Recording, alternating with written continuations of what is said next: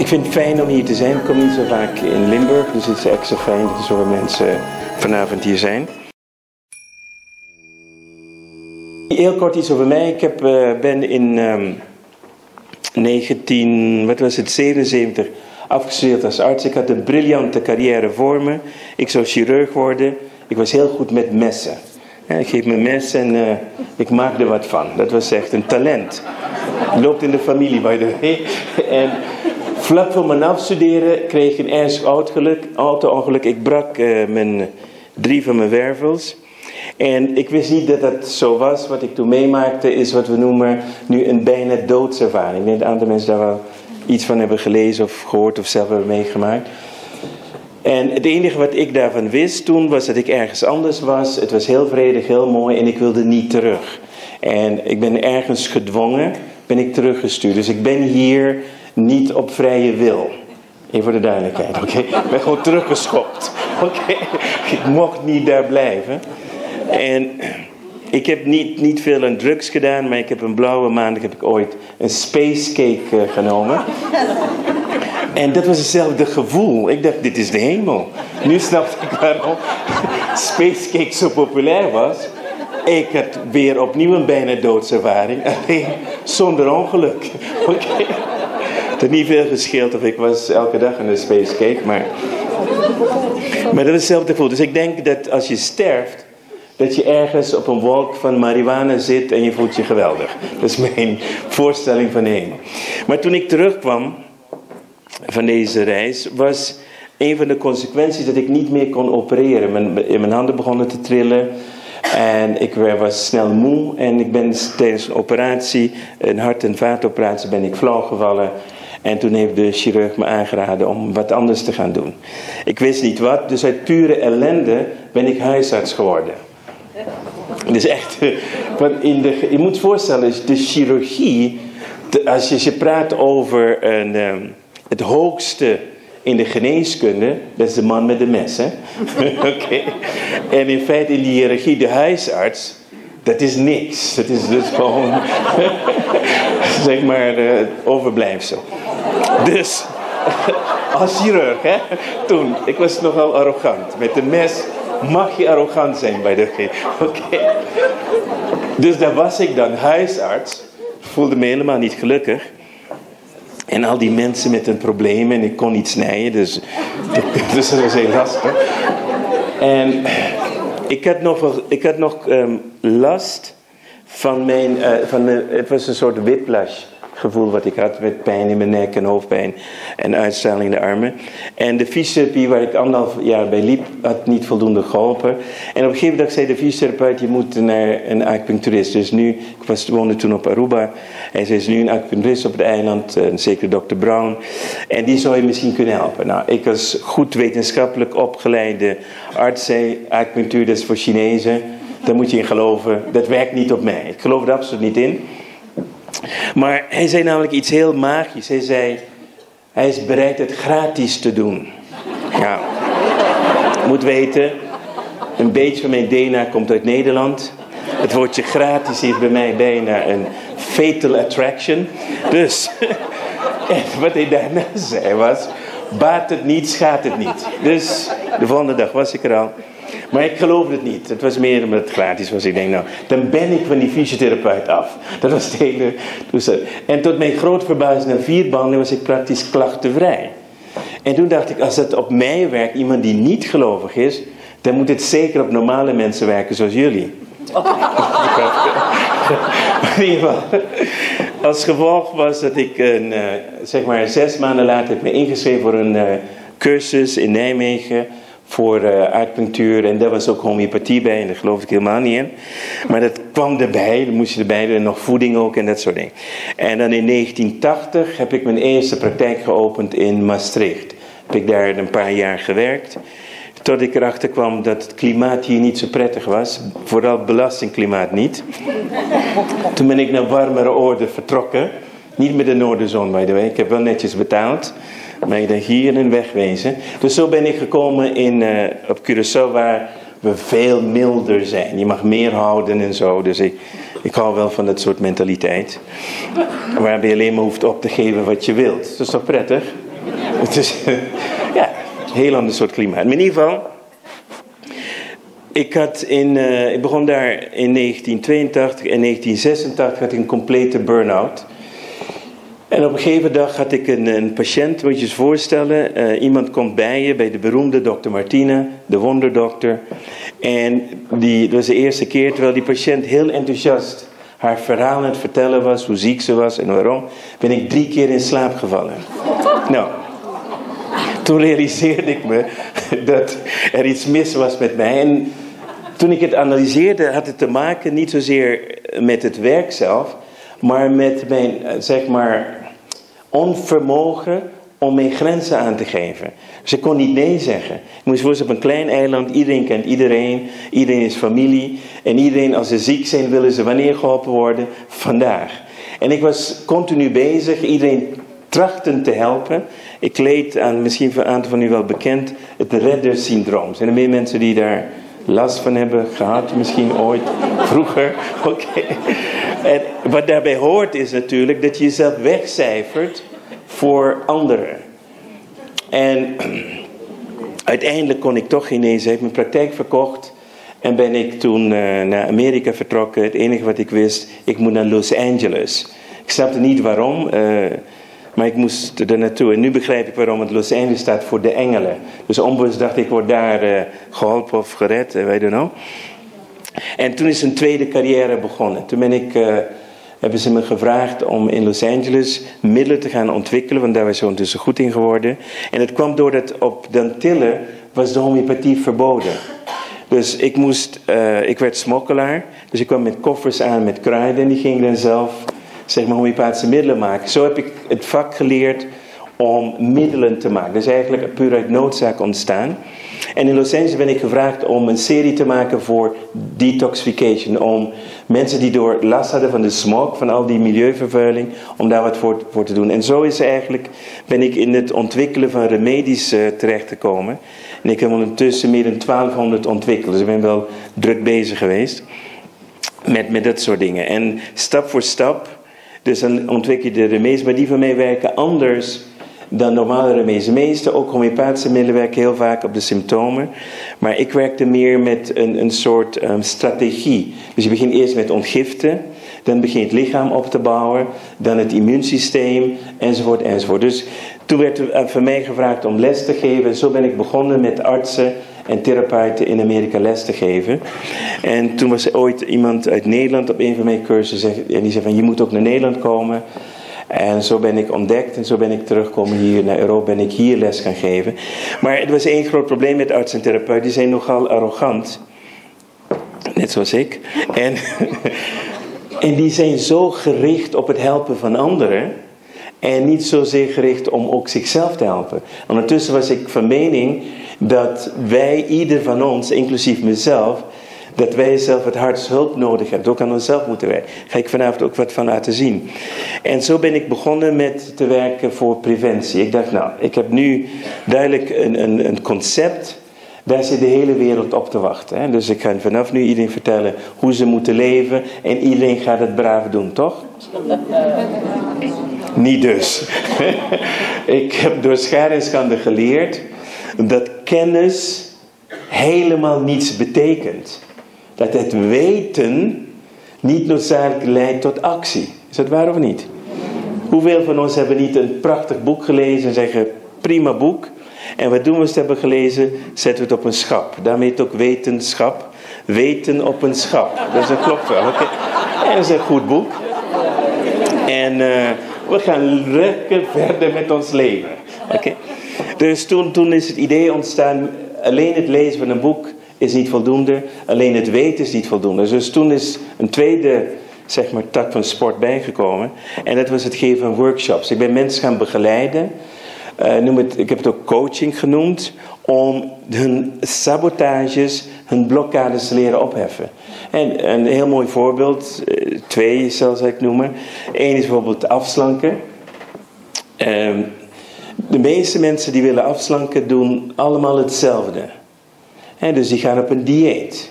Nou, een aantal van jullie hebben heel vaak gewicht verloren, toch? Wat is het enige probleem? Het komt weer terug. Ook al heet ze Sonja Bakker, maakt niks uit. Je gaat op een dieet in de veronderstelling, als ik eenmaal mijn ideaal gewicht of bepaald gewicht heb bereikt, dan mag ik weer normaal doen. Nou, als je normaal gaat doen, gebeurt precies hetzelfde waarom je bent aangekomen. Is het duidelijk of niet? Dus diëten in zichzelf werken niet. Als je dus wist dat van alle mensen die op een dieet gaan, slechts 2% erin slaagt om op de lange duur hun gewicht af te houden. Slechts 2%. En dat 98% vroeg of laat terugvalt naar het oude. En als je gaat bestuderen naar die 2%, dan zie je dat eigenlijk dieet niet het allerbelangrijkste is. Ze hebben iets veranderd in hun manier van denken. En, en dat is een stuk waar, waar ik nu ook in het duiken ben. Een ander voorbeeld is bijvoorbeeld met roken. Stoppen met roken. We leven nu in een tijd waar roken steeds uh, moeilijker wordt. Is het moeilijkste wat er is. Want het blijkt dat we de gewoonte hebben en die moeten we weer gaan doorbreken. Daar zal ik straks iets meer over vertellen. En dat zo. Dus stap voor stap ben ik me meer en meer gaan eh, zeg maar, bemoeien met mensen te helpen om zichzelf te helpen in plaats van één op één. Dus met groepen werken. Ik heb nu trainers, uh, meer dan 50 trainers in, in verschillende landen, noem maar op. Maar het leukste, ik zeg maar twee dingen die ik echt leuk vind, het is schrijven.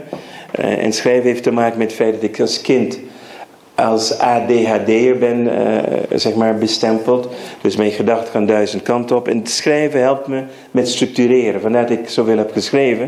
Ik schrijf geen boeken voor jullie, maar ik schrijf boeken voor mezelf. Maar als ik eenmaal opgezet heb ik een structuur. En zonder dat heb ik geen structuur. En, en uh, dus ben ik het schrijven begonnen. En mijn tweede passie na schrijven is gewoon workshops geven. Is gewoon mensen zoals vanavond een lezing. Mensen vertellen, mensen inspireren, noem op. In de hoop dat een aantal van jullie straks deze statistieken gaan veranderen. Ik ga in ieder geval een aantal simpele dingen meegeven enzovoort. Ik word heel vaak beticht van, door mensen die mij niet kennen van commercie. En ik wil daar even kort iets over zeggen. Vroeger raakten we, nu raakten we niet meer. In feite, laten we beginnen met als je een boodschap hebt, wil je het aan zoveel mogelijk mensen overdragen. Simpel, simpel fijn. Tweede is dat wat ik doe, is dus eigenlijk producten creëren, zo mag je het even zien, om mensen te helpen. Nu zijn er dus heel veel mensen met heel veel verschillende dingen. Dus het idee is gewoon om iedereen zijn eigen ding te geven. En ja, het is een bedrijf geworden. Ik heb nu op dit moment, zijn we met 15 man in dienst. Het is een bedrijf. We zitten in 14 landen. Alleen weet ik niet waarom ik voor commercieel word uitgescholden, terwijl de farmaceutische industrie, die medicijnen maakt, vaak willens en wetens weet dat die dingen mensen schade gaan toebrengen, dat is nog wel oké. En dan zijn de mensen die zitten in de spiritualiteit. Op het moment dat je spiritueel bent, behoor je aan en geen geld te verdienen. Ik, ik heb ook geen uh, geitenharen wollen sokken nog gevonden. En je mag het zeker niet professioneel doen. Dus daar zit ook een verwarring. Want dan ben je niet spiritueel. Is het duidelijk? Nou, die mensen hebben er absoluut niks van begrepen. Want spiritualiteit wil niets anders zeggen dat je talenten, dat je jezelf geeft aan de wereld. Op wat voor manier dan ook. En wat ik het allerbelangrijkste vind in spiritualiteit, de allerbelangrijkste les voor mij is, dat oordelen over een ander, dat het het makkelijkste is wat er bestaat. En dus een Indiaans spreekwoord, wil je over mijn oordelen, zul je eerst in mijn moccasins voor een tijdje moeten rondlopen. Want de buitenkant kun je nooit zien wat aan de binnenkant leeft. Niemand kan de ontberingen zien die ik heb meegemaakt om te komen waar ik ben. En maar het is heel makkelijk als iemand iemand bereikt te zeggen: Oh ja, hij doet voor het geld, hij doet voor dit, hij doet voor dat en dat soort dingen. En ik wil ook uh, de andere kant laten zien. Ik heb twee stichtingen. Eén stichting is Stichting Relief, werkt met kinderen met emotionele trauma's. We hebben meer dan 100 vrijwilligers in Nederland die zijn opgeleid in de nijtherapie. En die dus uh, op, uh, als mensen niet kunnen betalen voor heel weinig geld. En de stichting sponsort deze mensen. En wij geven daar ook uh, via ons werkgever ook daar donaties aan. Ik heb nu een tweede stichting, dat heet Shima. En mijn droom daarmee is om in Afrika een nieuw soort school te gaan oprichten. Kijk, in Europa is het heel moeilijk om een school te beginnen, omdat heel veel regels zijn. Maar in Afrika is men blij met elke school. En wat ik daar neer wil zetten is een prototype van de school van de toekomst. dat is niet gebaseerd op het model van leren zoals we dit hier hebben gedaan. Wat, wat we noemen voornamelijk linkerbrein leren is. We willen veel meer deze kinderen leren om hun eigen kracht te ontdekken, eigenwaarde, meditaties en, en al hun talenten op allerlei manieren te ontwikkelen. Ik heb ooit een cursus gevolgd waar we men werkte met gehandicapte kinderen die tijdens de bevalling zuurstoftekort zijn gekomen. Die meeste kinderen zijn spastisch. Je ziet ze ook zo zitten. En de meeste van deze kinderen hebben leermoeilijkheden. Maar er is een instituut in Philadelphia die met deze kinderen werkt. En deze kinderen worden intelligenter dan normale kinderen. En dat leren ze nu ook aan gewone ouders. En wat zij zeggen, dat elk kind geboren wordt als een genie. Maar door onze manier van opvoeden, niet opvoeden, van onderwijzen, dat het niet de ideale manier is voor de hersenen. Dus in feite maakt het onderwijs ons dommer. Kun je je voorstellen? Dus het leren van A, B, C, D is niet de manier hoe een kind leert lezen. Elk klein kind van drie jaar kan lezen McDonald's, Nintendo, Sony. Hele woorden kunnen ze allemaal lezen. Maar op het moment dat je woord gaat breken, S-O-N-Y, kunnen ze het niet lezen. En zo hebben ze nog veel meer ontdekt. En dat, die ideeën wil ik uh, in een school weer neer gaan zetten in Afrika. En wanneer dat werkt, dan gaan de andere landen ook vragen van... Wat doen jullie daar? Waarom kun je dus kinderen die in feite geen kans hebben... kunnen die genieën worden en wij in het Westen kunnen dat niet. Dat is eigenlijk een van mijn dromen. Dus nu weet je alles van mij? Dan mogen we straks... nou, de belangrijkste dingen dan een klein beetje van mijn leven blijft privé. en wat ik nu wil gaan doen, ik wil de hand van de PowerPoints nu. Wist ik niet dat ik in deze zaal uh, terecht kwam. Dus het is niet ideaal voor PowerPoints. En de mensen die hier zitten, zitten vrij goed. De mensen die dus meer in die hoek zitten, die zitten erg lullig. Dus, het enige wat ik kan doen om het goed te maken. Uh, er staat gelukkig niet heel veel lappen tekst op de PowerPoints. Maar ik neem het even door, heel kort zodat die mensen het niet goed kunnen lezen, weten wat op de PowerPoint staat. Op die, en dan ga ik er iets over vertellen, want anders dan uh, wordt het straks heel moeilijk. Dus de mensen die het niet goed kunnen zien, ontspan. Ik zal alles voorlezen wat op staat. Oké, wat hier verder staat, zonlicht geeft een extra boost aan de aanmaak van serotonine, serotonine. En serotonine is de feel-good hormoon. En dat maakt je gewoon blij en vrolijk, wat ik ook net beschreef. En vitamine D goed voor je botten en dat soort dingen. Dus voorkomt dat je vermoeid of lusteloos voelt.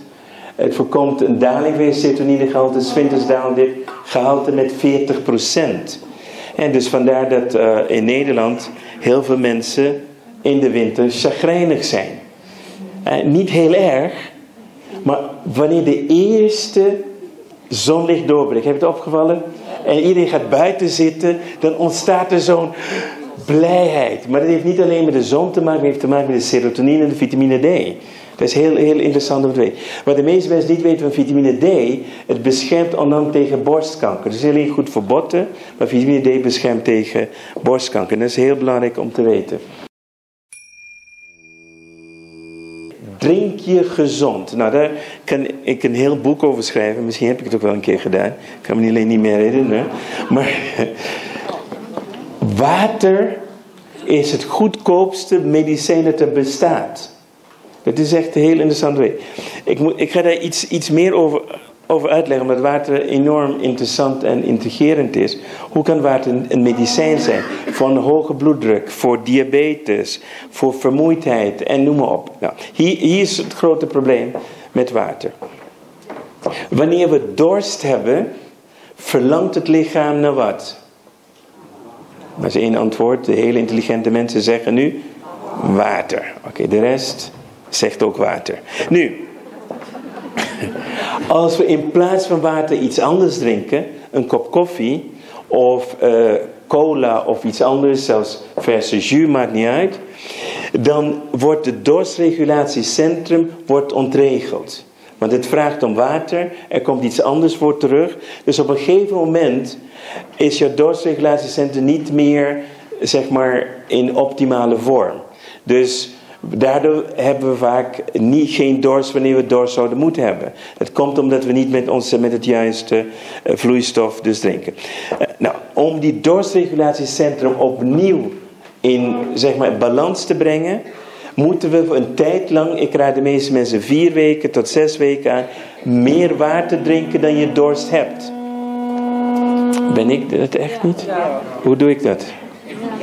Is het de batterij? I don't know. Nou, ik zal even kijken of we het aan een plek kunnen zetten of dat helpt. Nou, in ieder geval, voor een tijd lang drink je meer water. Misschien moet ik nu water drinken. drink je meer water dan je nodig hebt. Dan raden we aan 2 tot 3 liter water per dag. Geforceerd drinken. Als je 2 tot 3 liter water per dag drinkt, dan heb je niet zoveel tijd om andere dingen te drinken.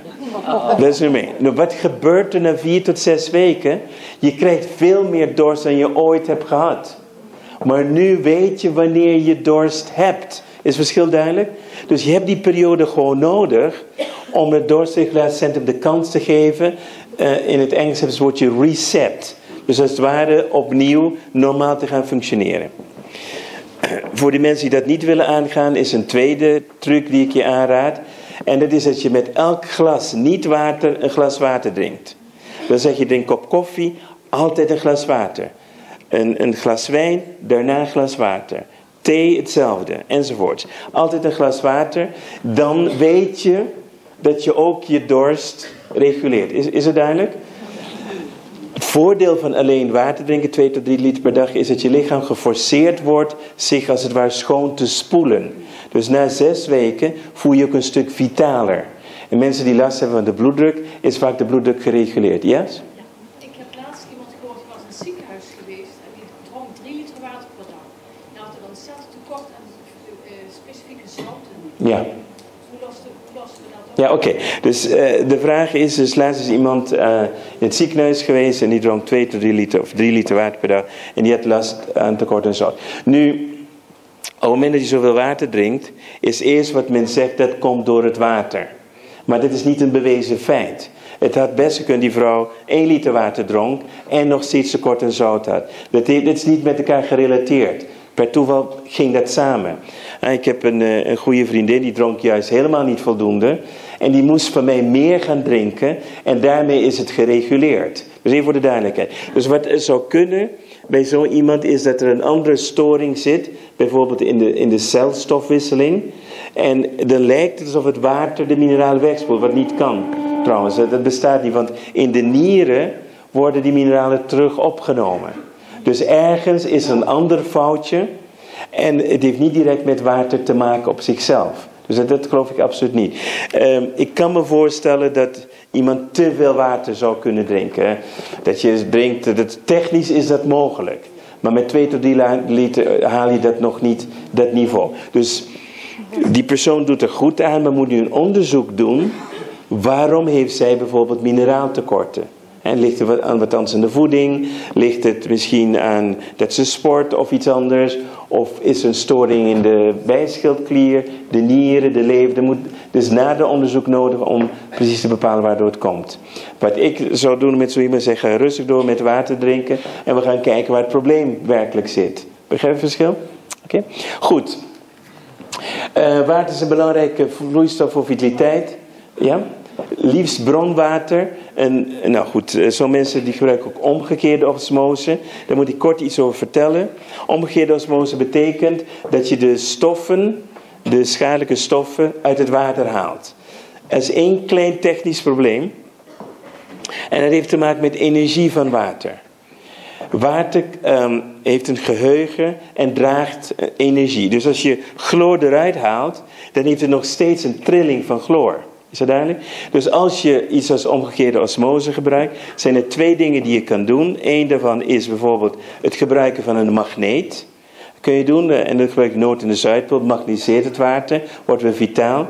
En er is een wetenschapper geweest, Masaru Emoto, uit Japan, die heeft ontdekt dat je positieve boodschappen kunt geven aan het water. Je kan bijvoorbeeld met uh, etiketjes op je waterkan of op je glas kun je plakken liefde, gezondheid, noem maar op. En dan krijgt de water positieve trilling. Dit is wetenschappelijk bewezen. Het is niet, niet een van de fantasieën. Hij heeft foto's gemaakt van water als het kristalliseert. En dan kun je de kristallen zien van bijvoorbeeld positieve woorden en negatieve woorden. Nou is het interessant. Wij bestaan uit hoeveel procent water?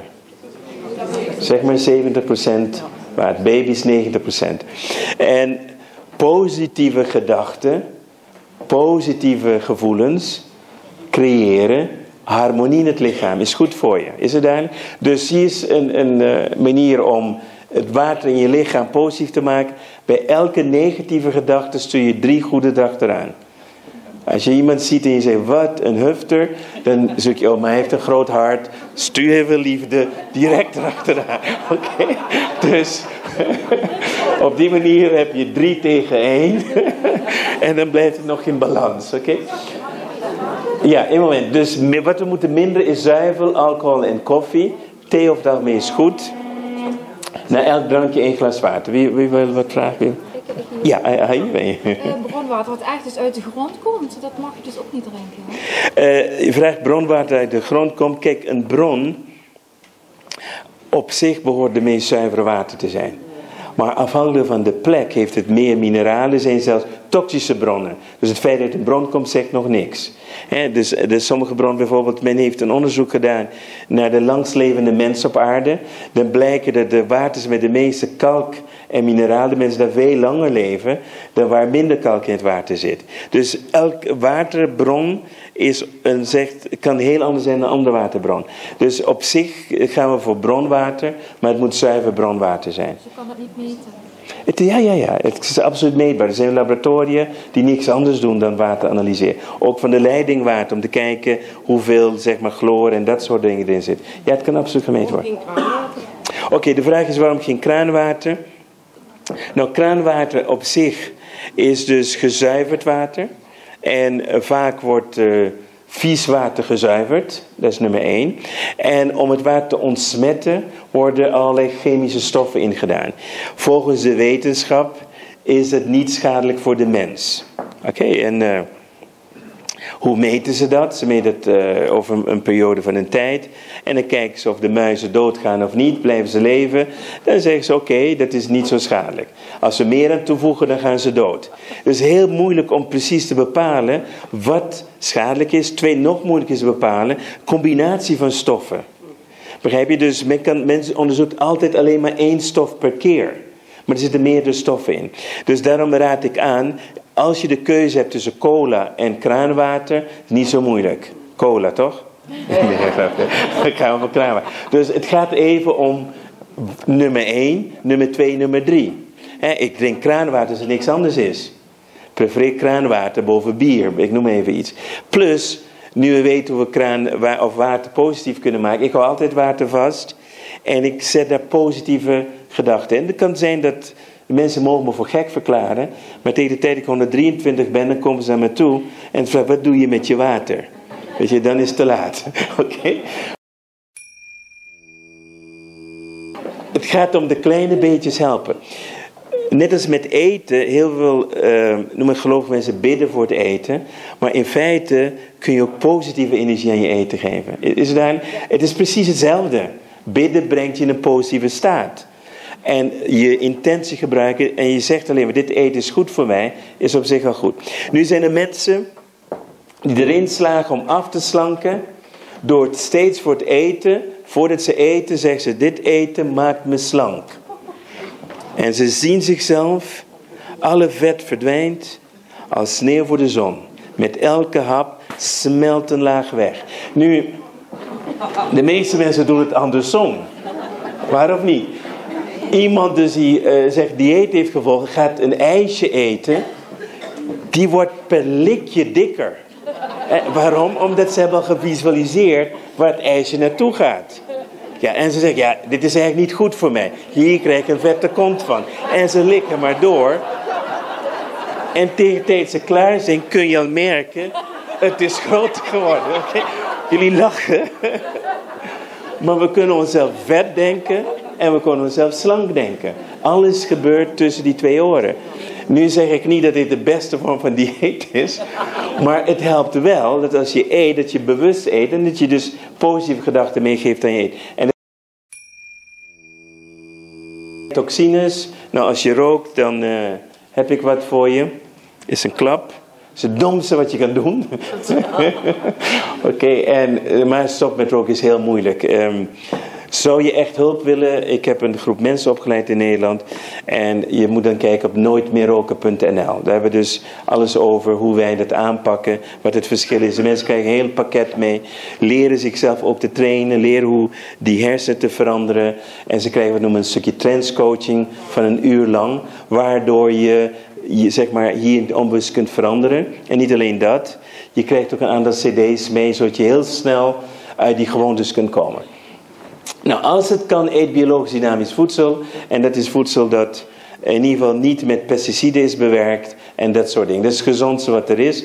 Men heeft onderzoek gedaan en daaruit blijkt onder andere ook dat dit eten meer mineralen en vitamines bevat. Als je kijkt naar een hele mooie sinaasappel, dat gewoon uh, gekweekt is zeg maar op de normale manier, en een biologisch dynamische sinaasappel dat er niet uitziet, en dat weet je, de een heel mooi en groot, de ander klein en lelijk blijkt in die kleine lelijke sinaasappels meer vitamines en mineralen te zitten dan die hele mooie.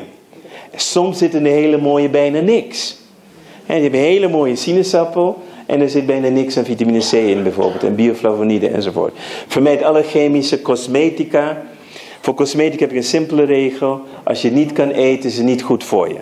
Dames, ik heb slecht nieuws voor je. De meeste troep kan je weggooien. Denk maar eens over na. Wat je smeert op je huid wordt opgenomen of niet. Dus daar zeg maar chemische stoffen in zitten, wordt ook opgenomen door je lichaam. En je lichaam moet het weer verwijderen. En de meeste cosmetica, er bestaan nieuwe merken zoals Aveda en Dr. Hauska, weet ik veel, en, uh, enzovoort. De, er zijn merken die zonder toxines worden gemaakt, maar de meeste merken worden van petrochemicaliën gemaakt. En dat is niets anders dan van de olie. Dat je het even weet. En als je kijkt op die potjes waar iets van 40 chemische namen op staan. Heb je het ooit gezien? Nou, dat smeer je dus op je huid. Dat is een kleine tip. Met de tijd om ook die, dat soort dingen te veranderen. Je shampoo, waar heel veel troep in zit. Was- en schoonmaakmiddelen. Tandpassen met fluoride. En dat soort dingen allemaal. Probeer zoveel mogelijk te gaan naar natuurlijk. Allemaal gaanvullingen. Daar zit kwik in. Kwik is een van de meest giftige metalen voor de mensheid. Alleen tandartsen hebben dat nooit gesnapt. Voordat kwik de mond ingaat is het giftig. Als het de mond uitgaat is het weer giftig. Waarom is het niet giftig in de mond? Kan iemand me dat uitleggen? Als jij, wat zeg je? De aanraking van het speeksel. Maakt het niet giftig? Kan, blijft nee, juist meer giftig. Dus na ongeveer 10 jaar is 50% van de kwik verdwenen uit de vulling. Waar zit die? Precies. Dus als het enigszins kan, weg met de amalgame. Men heeft in, uh, bij soldaten na de Tweede Wereldoorlog in Vietnam, en dat waren soldaten tussen 18 en 21 jaar, heeft men de hersenen onderzocht. De percentage kwik was direct afhankelijk van de hoeveelheid vullingen in je, in je gebit. Nou, nog één statistiek over kwik dat je het weet. Vroeger toen ik eh, medicijnen studeerde, zei men dat multiple sclerose was een ziekte van de gematigde streken. Maar dat is dus niet meer waar. Komt voort ook in tropische streken. En het begint altijd eerst waar de tandartsen komen. Dus waar tandartsen zijn, binnen 20 jaar ontstaat daar multiple sclerose. Ongeacht het land. En ook in Afrika hebben ze last van multiple sclerose. Dus hoe beter de mondhygiëne wordt door toename van tandartsen, hoe meer multiple sclerose toeneemt. En de meeste mensen met multiple sclerose hebben overgevoeligheid voor kwik. Dus niet zo dat als je geen overgevoeligheid hebt voor kwik, is de kans om multiple sclerose te krijgen veel kleiner. Dus niet kwik geeft multiple sclerose, je moet ook een gevoeligheid voor kwik hebben. Is, is dat duidelijk voor iedereen? Dus dat is belangrijk. Meer weten, dan staat in mijn boek Detox daarover. Regel 4, eet goede vetten. We hebben heel veel over gelezen over de vetten. We hebben essentiële vetzuren nodig. En we hebben het tegen allemaal gehoord over visolie. Voor kinderen vooral heel erg belangrijk. Kinderen met ADHD bijvoorbeeld, moeten we extra visolie geven. En kinderen die extra visolie of de essentiële vetzuren krijgen, blijken beter op te presteren op school. Eet daarom meer vis en gebruik koud geperste olijfolie in de sla. Verder noten, olijven, lijnzaad en dat soort dingen. Regel 4 nog steeds, vermijd transvetten.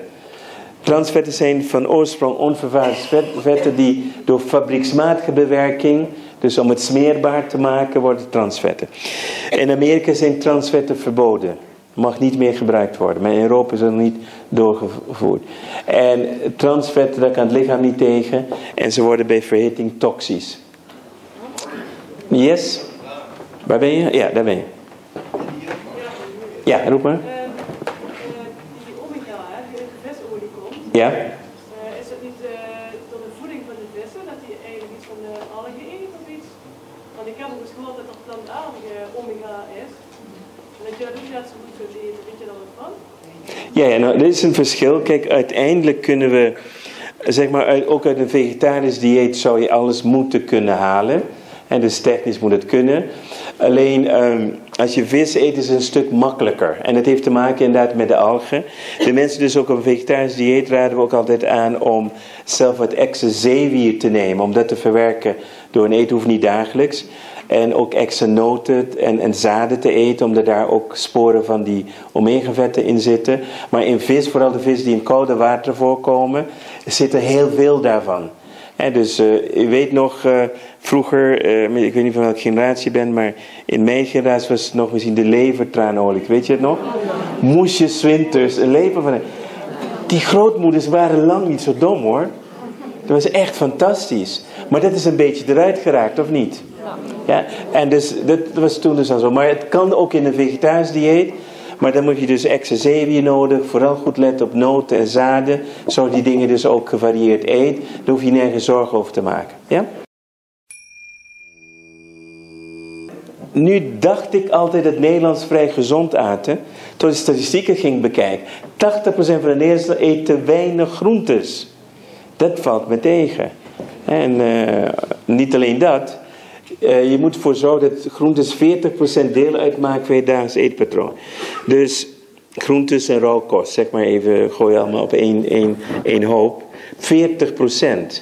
Nou, als je dat goed doet, poep je drie keer per dag. Maar heel veel mensen zijn tevreden met één keer, toch? Sommige mensen met één keer in de week. Ik wil niet weten wie dat zijn. Maar, als je gaat naar, bij primitieve mensen, dus die heel vezelrijk eten, die hebben geen witte rijst, geen witte pasta en dat soort dingen, die schijten letterlijk drie tot vier keer op een dag. Als je dat niet haalt, moet je meer vezels eten. Is dat uiteindelijk? Heb je gewoon darmen die werken als compactmachines. En je mag maar acht keer scheetjes laten per dag. Even voor de duidelijkheid. Meer is pathologisch. Dus we gaan niet tellen vanavond. Maar voor de mensen die het willen weten. Oké. Dus de mannen zijn heel blij. Hè? Die kunnen nu tot acht keer voluit gaan. en vrouwen hebben toch geluiddempers. Dus dan weten we niet hoe vaak zij dat doen. Oké. Dus. en we hebben nodig minimaal twee ons en twee stuks fruit per dag. Aan. Een van de manieren waar ik in ieder geval voor zorg dat ik mijn hoeveelheid fruit haal. Ik gebruik s morgens een smoothie. Ik weet niet of je het kent. Dus die doen banaan en peer en een mango, wat voor fruit is, wat, wat aardbeien. Die, die laat je gewoon draaien in zo'n mixer. Krijg je alle vezels ook daarvan. En dus niet het persen. Het persen, eigenlijk zoals een sinaasappel persen, is eigenlijk niet goed. Want je haalt weer vezels weg. En dan krijg je dat de suikers te snel worden opgenomen. Dus dan maak je gewoon zo'n zo lekker smoothie. Ook voor kinderen vinden het, vinden het prima. Waarbij ik uh, kinderen normaal geen melk aanraad, maar dingen zoals uh, rijstemelk, sojamelk, amandelmelk en dat soort dingen. En dan heb je in ieder geval je fruit binnen. En dus uh, dat is wel goed. En wil je echt stoer zijn, gooi je een broccoli doorheen. En dan, oké. Okay. Even voor de duidelijkheid, frikadellen, kroketten, ijstaart en zoetigheid vallen niet onder verstandige en gezonde voeding. En iemand die heeft me ooit proberen wijs te maken dat aardappelen groente was. Kun je je voorstellen? Ik zeg, eet je voldoende groente? Ja, ja, ja, ik eet elke dag aardappelen. Oké, dus. Een heel belangrijk iets, vermijd eh, te veel geraffineerde koolhydraten. Omdat, ehm het heeft te maken met je insulinespiegel. Dus als wanneer we eten wit brood, witte pasta, witte rijst. Dat zijn geraffineerde koolhydraten, die worden versneld afgebroken. Suikers nemen snel toe. De pancreas moet insuline maken om dat te regelen. En op een gegeven moment, als je dat te lang doet, wordt het lichaam resistent tegen insuline. De allergrootste oorzaak voor overgewicht tegenwoordig is insulineresistentie. Want op het moment dat dat niet meer door de insuline wordt geregeld, worden de suikers omgezet in vet. Uh, wie heeft vandaag de Telegraaf gelezen toevallig? Beste krant van Nederland. Nou, wat staat in de Telegraaf vandaag? Dat we hebben in Nederland 70 miljoen kilo vet te veel zitten aan de mensen. En ze zeiden, als je dat vet zou uh, weghalen, zou je dus 135 zwembaden kunnen vullen met vet. Ja, dat is echt waar. En wat zij zeiden, als iedereen vijf dagen in de week 28 minuten zou wandelen, gewoon lekker lopen, zouden we binnen een aantal jaren gewoon een heel slank Nederland kunnen hebben. Maar hier zit het probleem. Het probleem zit ook bij onze jeugd. De jongeren krijgen te veel suikers binnen, waardoor we voor het eerst nu zien dat jongeren uh, ouderdomsdiabetes krijgen. Kinderen van 12 tot 14 jaar kunnen nu al ouderdomsdiabetes krijgen. Wat vroeger pas na je 45ste begon. En dat heeft te maken met te veel suiker. In elk zo'n blikje cola of frisdrank zit meer dan 42 gram suiker. Moet je nagaan als je daar 4, 5 blikjes per dag van drinkt. Hoeveel suiker er niet bij die kinderen binnenkomen. En je ziet in Amerika en Europa volgt, zie je een toename van overgewicht bij kinderen. Steeds meer en meer. Uh, president Clinton heeft geprobeerd in ieder geval de frisdranken weg te halen uit de, de scholen. En dat te vervangen dan met uh, vruchtensappen, maar dit is geen oplossing. We zouden kinderen water moeten leren drinken. Want ook vruchtensap bevatten suiker. Ja? Oké. Okay. 9% van de Nederlanders eet te weinig vezels. We hebben minimaal 30 tot 40 gram per dag nodig. Daardoor grote kans op diabetes, hartziekte en darmklachten. 60% eet te vet en slechte vetten. Vetten bevatten wel vitamines A, D, E en K en essentiële vetzuren. Maken we niet zelf aan. Verzadigd vet verhoogt cholesterol. Vind je in vlees, volvette zuivel, roomboter, koek en gebak, chocolade, snacks en zoutjes. Transvetten zijn nog slecht omdat ze het risico op hartaandoeningen verhogen. Wie 5% van de calorieën uit verzadigd vet afwisselt met onverzadigd vet, vermindert kans op hart- en vaatziekten met 20 tot 40% door verlaging van cholesterol. Nou, dat, is, dat is aanzienlijk. Onverzadigd vet vind je in vette vis, noten, margarine, halvarine en vloeibare bak- en braad- en frituurvet. Nou, dus dan weet je dat in ieder geval dat vetten belangrijk zijn. Niet alleen voor gewicht, maar ook voor ons hart. Regel 6, eet meer rauwkost. Mag je onbeperkt eten, bevat alle ingrediënten waaronder enzymen en krikt je vitaliteit op. In Italië eh, was het zo, het is misschien nu wat anders door moderne invloeden, dat je voor elke warme maaltijd, smiddags en s'avonds, altijd eerst een bak sla eet.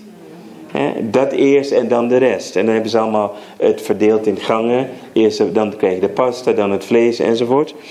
Um, enige fout van de Italianen verder is dat ze te laat eten dus uh, als je in Italië rond 8 uur restaurant binnen gaat, is het dood. Om half tien is het helemaal vol.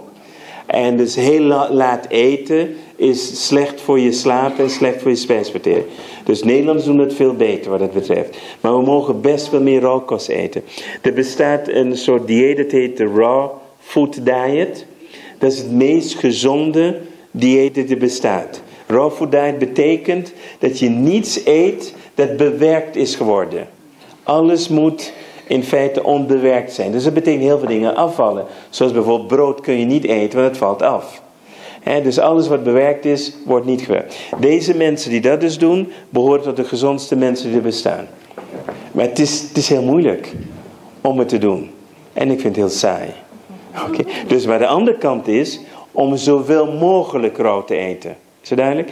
Want in het rauw voedsel zit niet alleen vlees en dat soort dingen, maar zit nou iets heel belangrijks. En dat wordt onderschat. Er zitten heel veel levende enzymen in. En die levende enzymen, die zorgen ervoor dat je bloedvaten worden, zeg maar, ontkalkt. En het helpt je lichaam te ontgiften. En wat nog belangrijker is, het helpt je immuunsysteem zich beter te weren tegen kanker en tegen ehm, ontstekingen. Jaarlijks overlijden 5000 mensen in Nederland aan te veel zout. Gebruik minimaal 6 gram per dag. Gemiddeld eet wel 9 gram. En vooral in kaas zit heel, heel veel zout. Dus eh, we moeten echt goed opletten met zout. Regel 8. Neem voldoende lichaamsbeweging. Nou, dat doet iedereen hier al, dus daar kan ik kort over zijn. Bewegen, moed, rust, roest. Nou, we hebben... Ja? Ja, oh, zout.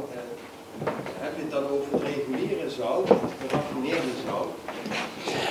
Um, Oké, we hebben dus twee dingen: kwantiteit en kwaliteit. En dus kwantiteit is absoluut. Dus al neem je zeg maar goede minerale zouten. Ik noem even iets. Als je daar te veel van neemt, het is minder erg dan de geraffineerde zout, maar te veel is nog steeds een belasting voor het lichaam. Oké, dus je hebt kwaliteit en kwantiteit. Maar van, de, van zeg maar de echte goede zouten, waar heel veel mineralen in zitten, ook de grijze zouten, zoals wordt ook gemaakt van, van zeezout, maar ook zoals van aardezout, die wordt door het lichaam veel beter verdragen. Maar vooral de geraffineerde zouten zijn veel toxischer voor het systeem. Dus dan heb je de echte NaCl, dus natriumchloride, maar er zit niks anders bij. En die andere zitten mineralen bij en andere elementen. Dat is veel beter voor je lichaam. In feite is het zelfs zo dat de minerale zouten vaak helend zijn voor het lichaam. dus dat is absoluut waar. Dus als je gaat naar een reformwinkel, dan vind je ook dat soort zouten. En je hebt ook tegenwoordig kaliumzout. En kaliumzout is potassiumchloride. En potassium is juist het tegenhanger, de antipool van natrium. Van natrium wordt gewone zout gemaakt. Potassium houdt dat in balans. In de cel, in de celwand, zit ook noemen we een natrium-kaliumpomp. Dus de cel moet natrium uitpompen en kalium naar binnen pompen om zeg maar in goede vorm te blijven. Vitale cellen hebben een goede natrium-kaliumpomp. Wanneer ga je beginnen met lichaamsbeweging? Nou, gaan we morgen beginnen. Maar wat heb je daarvoor nodig? Nou, eerst een paar goede schoenen. Nou, laat ik even een paar dingen zeggen over lichaamsbeweging. Dat het blijkt dat mensen die gewoon regelmatig in de tuin werken, minder hart- en vaatziektes hebben die mensen die helemaal niet in de tuin werken. Of niet, niet bewegen. Wandelen elke dag. Dus het hebben van een hond het liefst een grote hond die echt flink trekt aan je. hoe groter beter, hoe meer tegengas je moet nemen. Als je zo moet lopen de hele tijd, heb je de beste oefening die er bestaat. Als je moet kiezen tussen man en een hond, neem een hond. Oké? Leef je ieder geval langer. Oké? Uh, voor mannen, ja. Yeah. moet nog even op hebben. Moet nog iets voor bedenken. oh, ja, precies. Oké, maar een paar simpele dingen. Als je je auto parkeert, sommige mensen rijden drie rondjes omdat ze het voor de supermarkt willen parkeren. Zet het iets verder weg. Want elke beweging telt. En je moet naar de tweede verdieping, neem gewoon de trap. De beste vorm van beweging voor het hart is interval. Dus duur, zeg, de mensen die elke dag 10 kilometer lopen, is niet zo goed als iemand die gewoon een sprintje doet een paar keer op een dag. Dus een paar keer een trap oprennen is veel beter voor je hart. Dus hoe, zeg maar, het onregelmatige of gaan tot een inspanning echt buiten adem bent, is beter dan gewoon op, zoals ze doen met aerobics, proberen op eenzelfde hartslag te blijven. Is daar? Dus flink wandelen, even rustig wandelen, sneller wandelen is prima. Dus het hoeft niet echt zo'n intensieve sport te zijn. Nederlands in principe met fietsen is perfect. Gewoon fietsen in weer en wind is een hele goede sport. Lopen is een hele goede sport. Het gaat om bewegen. Het gaat de circulatie bewegen. En dat je, adem, dat je af en toe even buiten adem komt. Je even voelt, ik moet even wat ademen. Want die middenrif moet bewegen. En waarom is het belangrijk? Niet alleen voor je darmen. Omdat de beweging van die middenrif de beste stimulatie is voor je lymfafvloer. Je lymfeafvoer. Je lymfeafvoer. Mijn batterij is op. We hebben nog een batterij. Is er iemand met een batterij? Anders geef mij. Hij is echt dood. Misschien was dat het.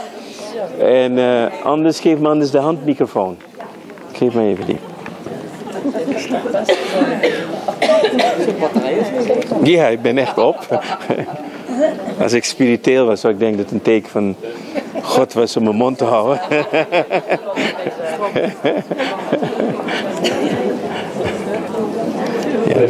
Ja, ja hij komt. Alright. Thank you. Yes, sir. Oké, zal ik je die andere vast geven? Mocht je het eh, kunnen oplossen, geef ik je die. Ja. Oké, we waren dus over lichaamsbeweging. Dus ehm, belangrijk is, elke vorm van beweging is goed. Is dat duidelijk? En ik had het over de middenrif voor de beweging van de lymfafvoer. Eh, De lymfafvoer is eigenlijk een soort riolering van het lichaam. En dus alle oude cellen worden dus daarin opgeruimd. Dus diep ademen is dus de beste voor het middenrif en het beste is voor de lymf. En lopen, de kuitspieren, stimuleert dus ook de lymfafvoer. Dus een hele belangrijk om. Dus, maar laat je niet gek maken, je hoeft niet naar een gym toe te gaan. Maar maak wel een soort onderdeel dat je elke dag even naar buiten gaat, even gaat lopen of iets gaat doen. Maakt niet uit wat het is, zolang je maar beweegt. Maar effectief slapen heeft niets te maken met hoeveel uren je slaapt. Er zijn heel veel mensen die 8 tot 9 uur slapen en die zien er 's morgens niet uit. Wie zijn dat? Oké, dus wat we moeten leren is effectiever te slapen. Nou, een van de belangrijkste dingen dat je wilt weten is dat de kamer moet donker zijn. Licht, zelfs een waakvlam, een waakvlam ontstoort de hypofyse en de epifyse. En dat is voor je dag- en nachtritme. Kijk eens, dankjewel. En je epifyse maakt een hormoon dat heet melatonine. En melatonine is een andere beschermer tegen borstkanker.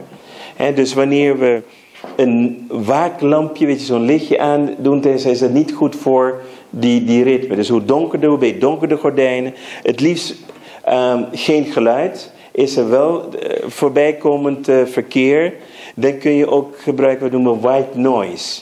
White noise is bijvoorbeeld ehm, wat de zee dus doet. Eigenlijk komt het woordje white noise van vroeger die televisies, wanneer je ervoor in slaap viel en je werd wakker door. Dus dat, daar komt white noise vandaan. Maar ook de branding van de zee, dat is ook white noise. Regen is white noise. Dus dan zet je een cd op met gewoon zeegeluiden. Dan dat, daar raken van in, zeg maar, in rust en, en slapen we eigenlijk daardoor beter. Ik heb zelf een cd gemaakt die heet Wel te rusten. En wat de cd Wel te rusten doet, is jou trainen om goed in te slapen en diep door te slapen. En tegelijkertijd vitale wakker te worden. Maar dat is dus eventueel voor de mensen die uh, moeite hebben met, met slapen. En we hebben uh, heel veel mensen die ons hebben geschreven dat ze direct al van de slaappillen af waren. Eh, ik schijn zo saai te zijn dat je diep in slaap valt.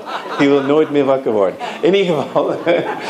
Dus effectief slapen is belangrijk voor je batterij, je bijnieren op te laden. En om je onbewuste te ontstressen. Uh, je kan ook uh, remedies gebruiken, kun je op onze website vinden. Vooral de levernier en we hebben ook een remedie Inner Child. Uh, dat is loslaten, is dat je alle zorgen en dat soort dingen helemaal loslaat. Sommige mensen kunnen het ook doen met hele mooie klassieke muziek. Weet je, hele new age muziek is ook heel ontspannend. Maar het allerbelangrijkste wat ik mensen leer is om vlak voor je gaat slapen, om heel bewust even te gaan ontspannen. Om bewust de dag los te laten. Vaak als je in bed kruipt, wil je gewoon gaan slapen. Maar als je gewoon even een paar minuten neemt om je dag te evalueren en gewoon even alles los te laten. Gewoon stuk voor stuk alles los te laten. Train je hersenen om effectiever te slapen. En je visualiseert dat je s'morgens vitaal opstaat. Oké, tip 3, doe regelmatig een detoxprogramma. Vast een paar dagen. Remees hebben het over gehad. En je kan ook lezen mijn boek Detox. Wat blijkt dus nu? Hoe meer toxines we in ons systeem hebben, hoe meer slaap we nodig hebben. Is dat duidelijk? Dus dat wil zeggen dat gedurende de nacht is het lichaam bezig te ontgiften. Dus als je lichaam heel veel toxines heeft, heb je gewoon meer tijd nodig. Dat is ook de reden waarom we morgens heel vaak niet lekker opstaan, omdat het lichaam nog in de ontgiftingsfase zit. En we, we noemen dat de parasympathische fase. Wanneer we wakker zijn, zijn we in het sympathische, de positieve En het negatieve in de act noemen ze yin en yang. Gedurende slaap ben je in de yin-fase. Wanneer wakker bent in de yang-fase. En s'morgens zitten we in die overgang. Wanneer je koffie drinkt s'morgens, dan versnel je de omgang van yin naar yang. Enige nadeel als je het s'morgens vroeg doet, is dat de toxines direct teruggaan waar ze niet thuis horen. En dan raden de meeste mensen aan om s'morgens wat te drinken? Saai maar waar.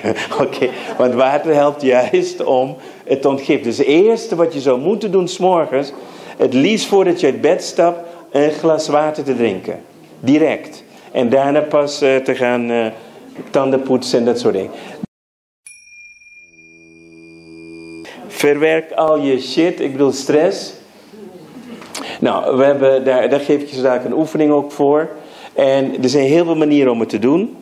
Uh, van, noem op, ik heb al één manier genoemd voor je gaat slapen. Gaan kijken hoe is je dag gegaan. Wat zou je anders kunnen doen? Je zou kunnen visualiseren hoe je dag had willen hebben. En dat opnieuw beleven. Nu ga je je hersenen trainen om in een soortgelijke situatie in de toekomst in je kracht te blijven. Dat is één manier om het te doen. Ik zelf ben uh, opgeleid in de acupunctuur, zoals ik heb verteld. En we hebben daar een techniek, heet emotioneel evenwicht, ontwikkeld, waarbij je gewoon op punten tikt of masseert. En daardoor je energiesysteem weer in balans brengt. En daar heb ik een aantal boeken over geschreven. Voor die mensen die um, zelf thuis het willen doen, heb ik een boek Emotionele Fitness. In Emotionele Fitness zit ook een DVD met alle punten. Er zitten drie CD's in. Het is eigenlijk een soort cursus thuis die je zelf kunt doen. En daarnaast geven we allerlei soorten cursussen. En we starten binnenkort weer met een aantal cursussen. Ik dacht in, eh, we zitten in Eindhoven. En de eerste, een van de die we doen, is met emotioneel evenwicht. Dus hoe kan ik mezelf weer in balans brengen? Maar dat kun je allemaal op de website vinden. Niet verwerkte emotionele trauma's kunnen je ziek maken, kunnen onder andere kanker veroorzaken en doen je levenslust verliezen. Met deze 10 tips bouw je vitaliteit op en krijg je elke dag meer energie. Het is nooit te laat om te beginnen. En waarom doen we het niet allemaal? Even naar het stukje, ik heb net iets over kanker genoemd. Heel kort daarover.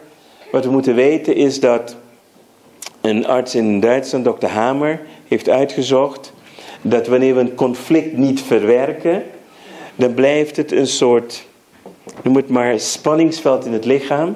Er ontstaat ook vaak een verkalking in de hersenen. Hij kan op basis van een MRI-scan, waar hij de hersens onderzoekt, kan hij dus zien of iemand onverwerkte conflicten heeft. En op basis van de conflicten en van de verkalking kan hij voorspellen waar iemand kanker gaat krijgen. Nou, dat is interessant. Dus elke vorm van kanker heeft een relatie met een conflict. Nu is het moeilijk het verschil. Als iemand rookt, dan denken we nicotine veroorzaakt kanker. Maar dat is niet helemaal waar. Er is ook nog iets anders voor nodig. Want als het waar zou zijn, zou iedereen kanker moeten krijgen. Is het duidelijk of niet? Maar er is nog een ander ingrediënt nodig. En iedereen, elke roker heeft wel iemand die zegt... Ja, maar mijn opa die rookt tot zijn tachtigste en die heeft nooit wat gehad. Maar je opa had geen conflicten. In ieder geval niet die conflicten die de longenergie verzwakte, waardoor de nicotine een aangrijpingspunt had. Is, is het duidelijk? Dus in feite komt die wetenschap ook uit de acupunctuur, waar ze zeggen dat elke emotie verbonden is met een bepaalde meridiaan. Elke meridiaan is verbonden met een orgaan. Dus als je een bepaalde emotie niet hebt verwerkt, verzwak je een orgaan. Bijvoorbeeld boosheid verzwakt de lever. Bezorgdheid verzwakt bijvoorbeeld de maag. Angst verzwakt de nieren. Frustratie de galblaas. Zo dus als je heel veel frustraties hebt die je niet verwerkt, dan heb je ook een verzwakking van de energie van je galblaas. En daardoor loop je grotere kansen om galblaasproblemen te krijgen. Is het duidelijk? Sabotage. Dus de reden dat we niet, niet allemaal doen wat we moeten doen, heeft te maken met sabotage. Kennis is niet goed genoeg, we saboteren onszelf. Daar wil ik kort iets over vertellen, dan heb je het hele pakket. En dan weten we ook wat we daaraan kunnen doen. Als we gaan kijken naar bewust en onbewust, kunnen we vergelijken met een ijsberg. En bij een ijsberg weten we dat 12,5% zit boven water en de rest onder water. Dus dat is ook onze bewuste, dus waar we bewust van zijn, is ongeveer het topje van de ijsberg. Het onbewuste mind, dus de 87,5%, is daar dat deel van ons, zeg maar, uh, bewustzijn die we niet onder controle hebben. Nou, dus als iemand gaat beginnen aan een dieet, beginnen ze bewust aan een dieet. En ze gaan, oh ja, dankjewel. En uh, beginnen ze bewust aan dieet. Ja, meer water, hè, dat weet je. Dus kom ik niet aan mijn drie liter per dag. Dus je bewuste wil je wel. Maar laat je je voorstellen. Wie van jullie heeft ooit een dieet gedaan? Even gewoon eerlijk. Dit is, het gaat niet om meer voor schut zijn. Wie van jullie, als je het woord dieet hoort, wordt je helemaal vrolijk opgewonden en denk je, yes, ik ga weer een dieet doen. Eén, één gek, oké. That's it. De meeste mensen willen afslanken, maar de weg er naartoe, dat vinden ze niet prettig. Waar of niet waar? Dus bewust willen we afslanken, maar het onbewuste wordt helemaal niet goed van het woordje dieet. En het moment dat je al denkt aan een dieet, begint het al te sputteren. En je hoort die stem al, al beginnen, alweer een dieet. Je weet, het is afzien, enzovoort, enzovoort. Oké, dat is het onbewuste. Laten we dat nog even bestuderen. Dus boven water zie je wilskracht, doelen, succes, actie. Dat is wat we willen. En het meeste bewust wat we hebben is wilskracht. Dus je gaat sporten, op wilskracht heb je heel veel discipline nodig. En dan sta je, je gaat gewoon doen, enzovoort, enzovoort. Maar discipline, niet iedereen houdt het vol, waar of niet? En wanneer die wekker morgenochtend een uur eerder afgaat, wat hoor je voor een stem? Ja, en die, wat gaat die stem je vertellen? Dat laatste uurtje slaap. Dat is wel belangrijk.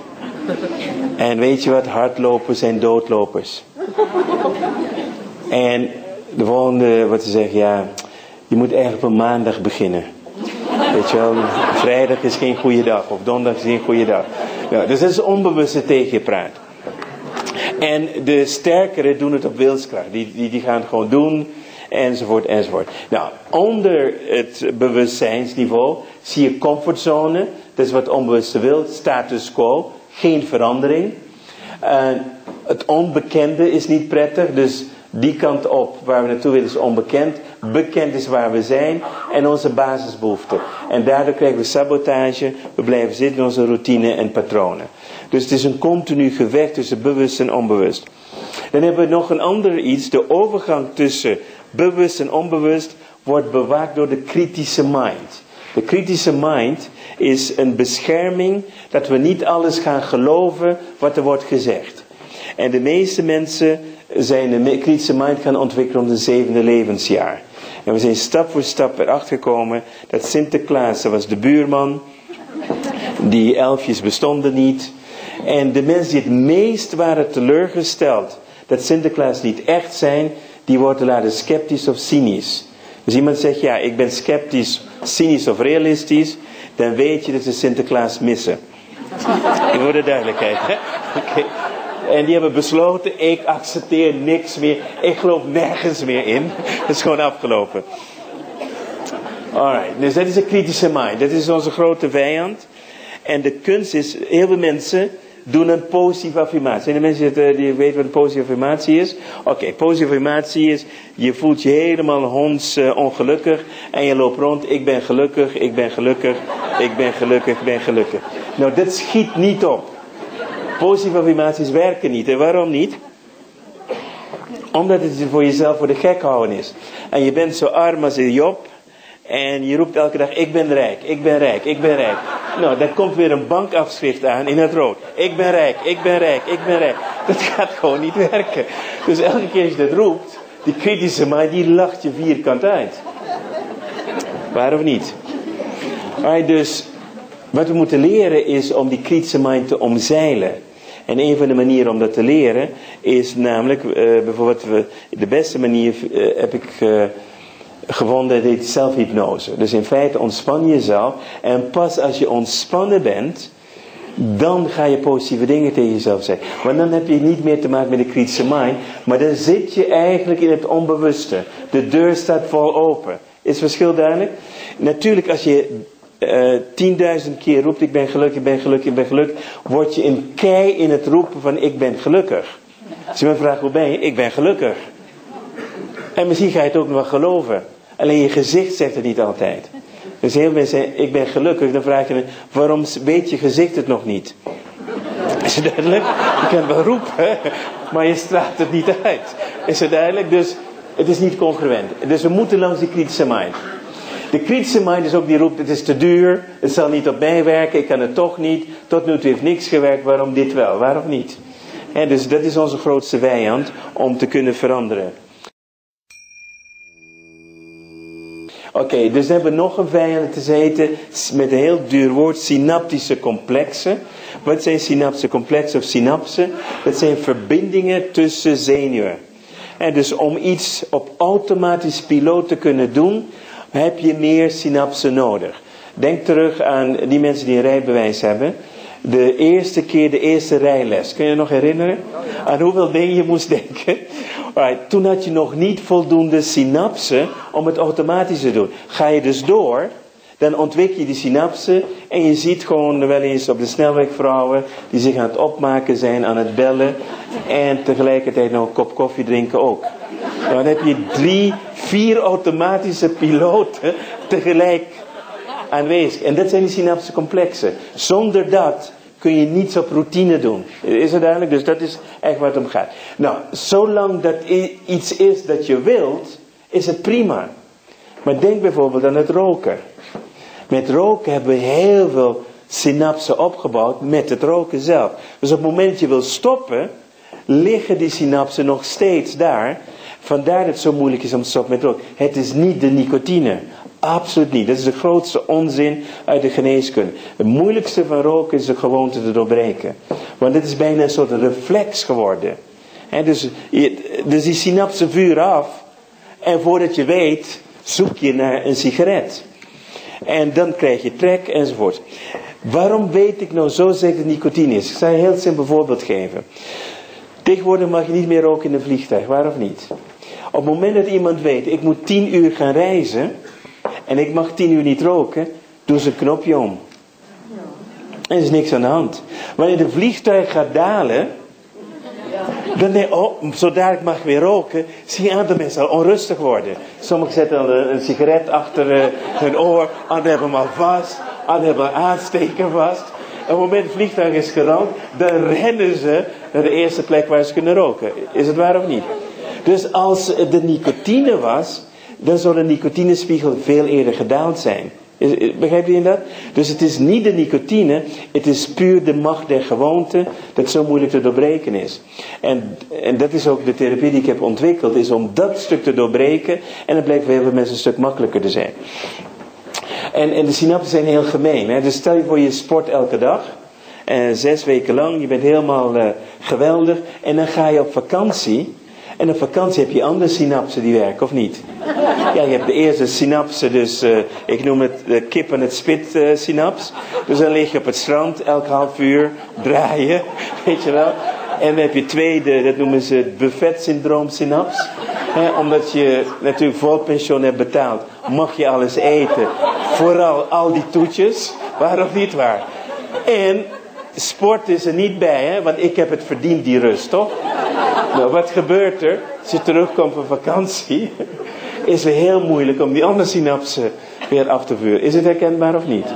En dus we, we zitten gewoon vast in heel veel van die synapsen. Maar het kan ook heel situatiegebonden zijn. Dat we met een bepaald persoon andere synapsen afvuren. Bijvoorbeeld uh, met je baas. En bijvoorbeeld met je relatie. En, en dat soort dingen. Tot slot, dus de bewuste kant is actie. Kritische mind gaat er tegenin. Synapscomplex kunt tegenin gaan. Je zelfbeeld, eigen waarde.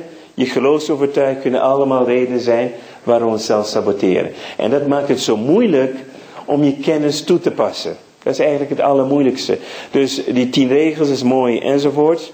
Dus daarom vandaar dat ik uh, eerst een uh, korte zelfhypnose oefening wil gaan geven dat je makkelijk thuis kunt doen. Hè? Dus dan het kun je vijf tot tien minuten doen, is op zich heel simpel.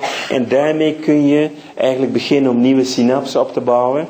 En daarmee kun je ook dingen gaan veranderen. Een van de allerbelangrijkste dingen die ik je wil meegeven, en dat is echt denk ik het grote geheim, is dat je je toekomst heel duidelijk eerst moet zien.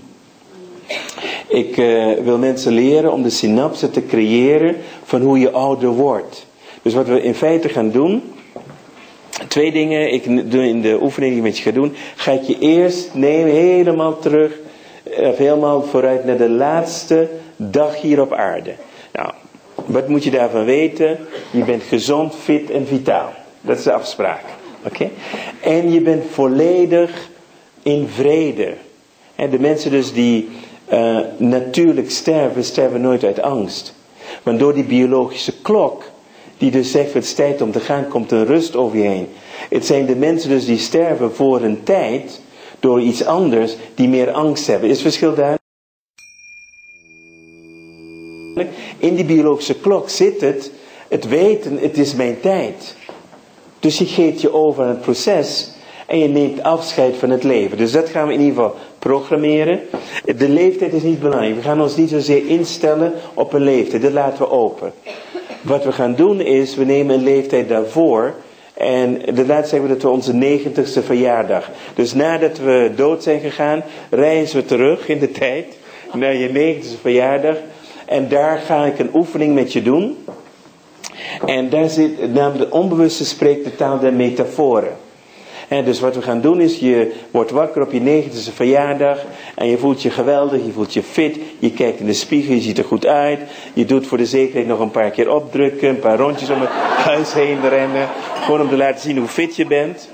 En die dag ga je een test doen, je gaat naar een speciaal centrum, waar ze een heel, natuurlijk tegen je 90 bent, ben, hebben ze deze moderne scanmachine. En je, gaat, je doet een scan en dan zegt die technicus tegen je, volgens mij is scanapparaat uh, kapot. Want uh, het zegt dat je een biologisch leeftijd hebt, maar van 50. En dat kan niet. En je ga je een tweede scan doen en dan blijkt dus het te kloppen. Is het? Dus, we, dus het moet niet kloppen daar, maar het klopt wel voor jou. En dan s'avonds geef je feest. En dan heb je 90 kaarsen.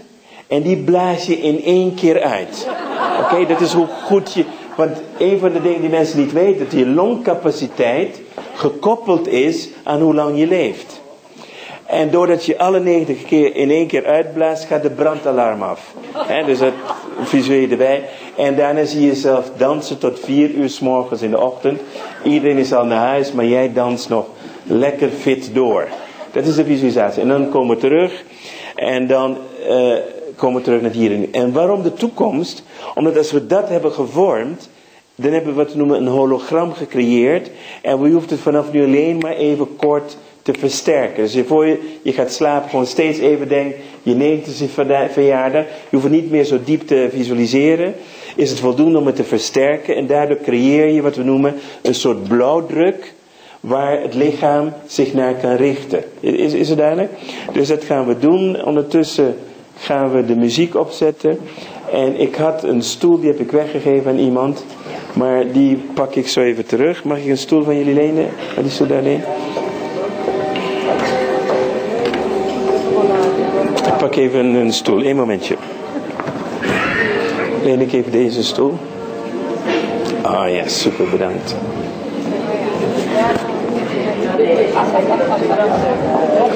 In het geheel doe het niet langer dan... Uh, een minuut of tien. Ik doe het even heel goed, dus dat is dan iets langer.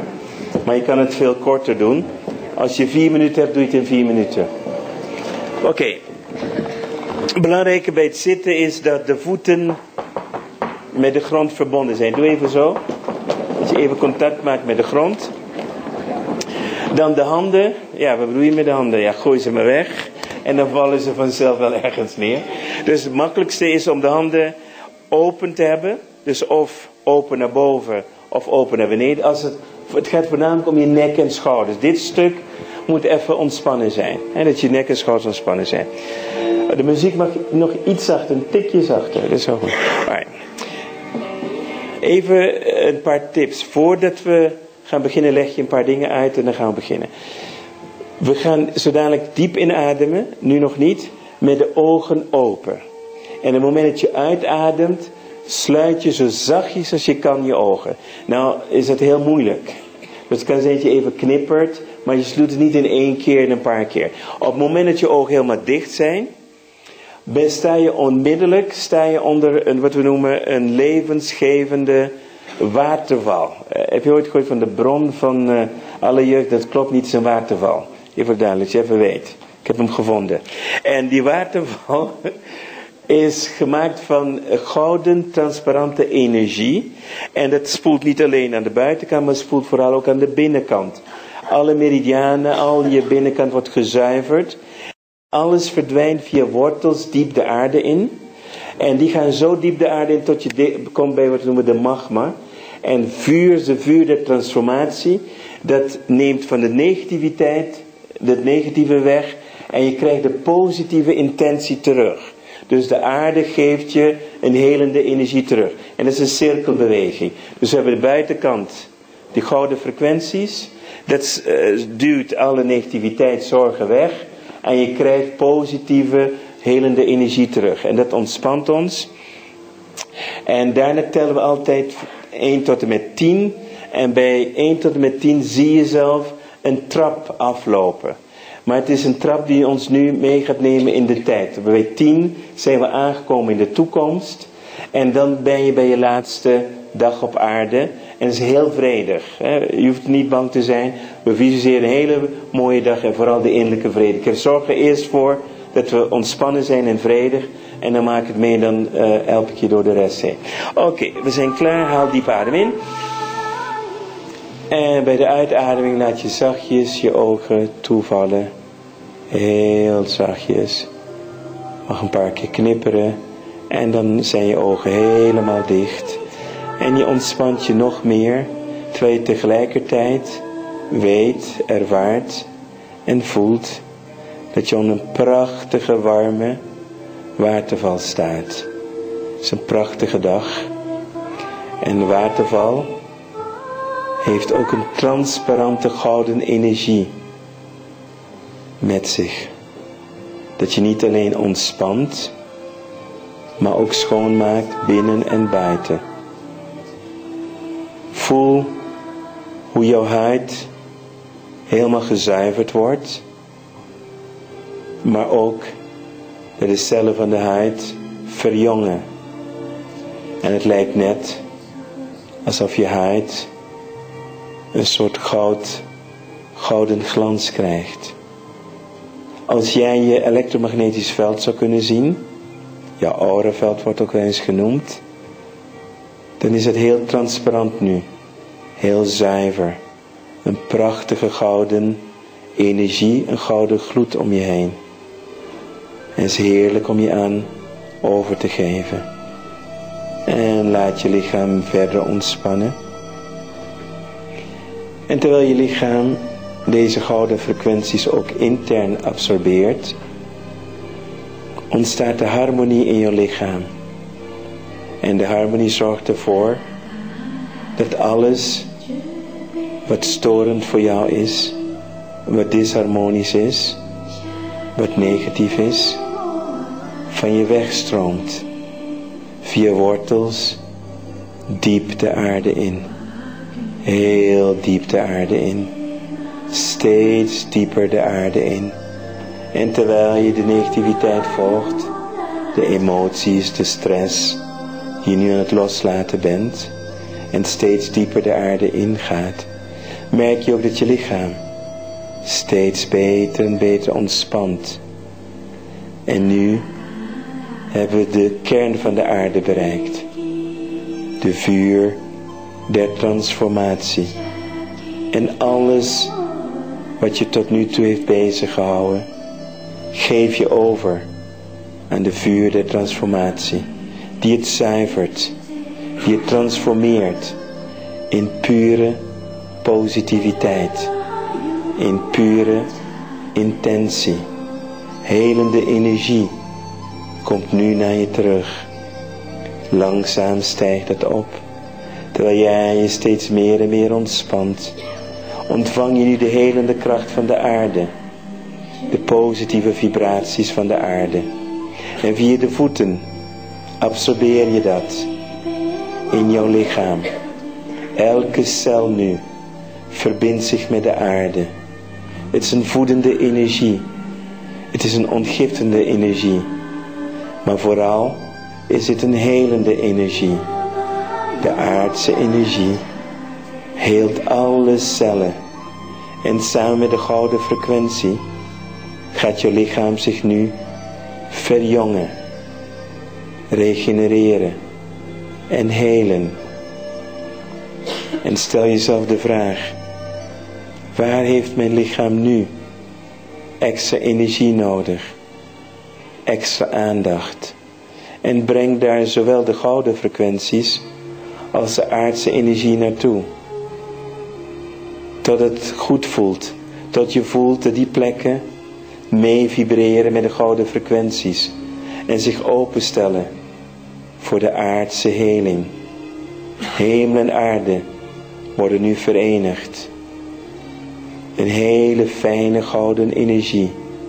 Een hemelse energie die enorm liefdevol aanvoelt. Zacht is, verkwikkend van energie, verjongend. En een iets zwaardere energie van de aarde met een positieve intentie.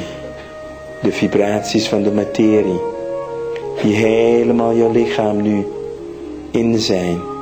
Tot aan je hersenen toe vibreer je met de frequenties van de aarde en tegelijkertijd met de frequenties van de gouden energie. En die plekken die het nodig hebben, zijn nu helemaal verzadigd met beide energieën. Het voelt goed. Ik tel nu van 1 tot en met 10. Ik verbeeld je daarbij dat je een trap afloopt. Wanneer we bij 10 zijn aangekomen, zijn we ook aangekomen op de laatste dag van ons leven. En voelen we ons heel vredig. Want onze biologische klok is afgegaan. En we weten dan bij 10 dat de dag gekomen is om afscheid te nemen van het aardse leven. En ons helemaal over te geven aan de gouden frequenties de frequenties die we hebben ervaren als onvoorwaardelijke liefde, als onvoorwaardelijke wijsheid, als het weten en het zijn. 1. Richt je nu bewust op je hoofd. Je hoofd begint zich volledig te ontspannen. Alle gedachten laat je los. Je luistert alleen nog naar mijn stem.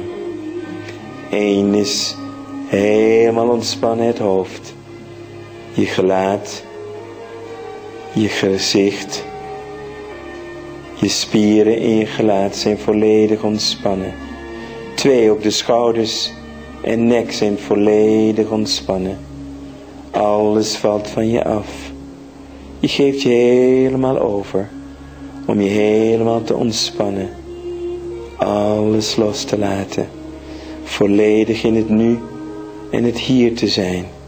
Steeds dieper en dieper in jezelf.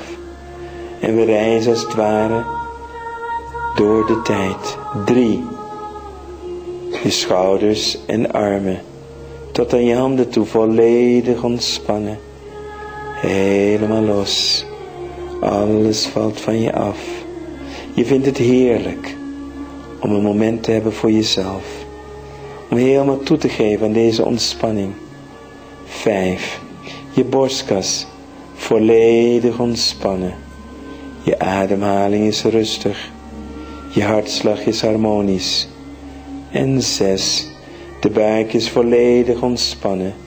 Alle organen in je buik volledig ontspannen. Zeven. De rug en wervel. Wervels volledig ontspannen. Laat alles van je los. Alle rugspieren zijn ontspannen. Helemaal ontspannen. Acht. De bilspieren volledig ontspannen. Helemaal ontspannen.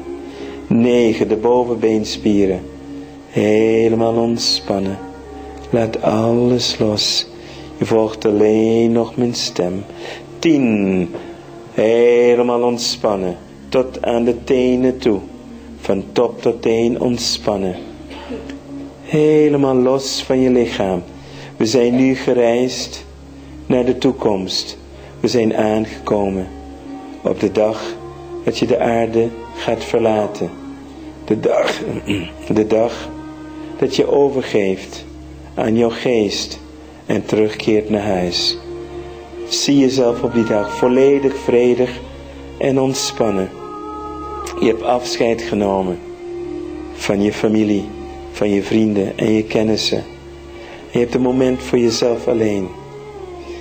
En ondanks het feit dat het best moeilijk is om al deze prachtige mensen achter te laten. Weet je ook dat het helemaal klopt en helemaal oké is. Alle angst is van je afgevallen. Je voelt je vredig en prettig. En je kijkt terug op jouw leven. En je voelt je tevreden. Je hebt een glimlach op je gezicht.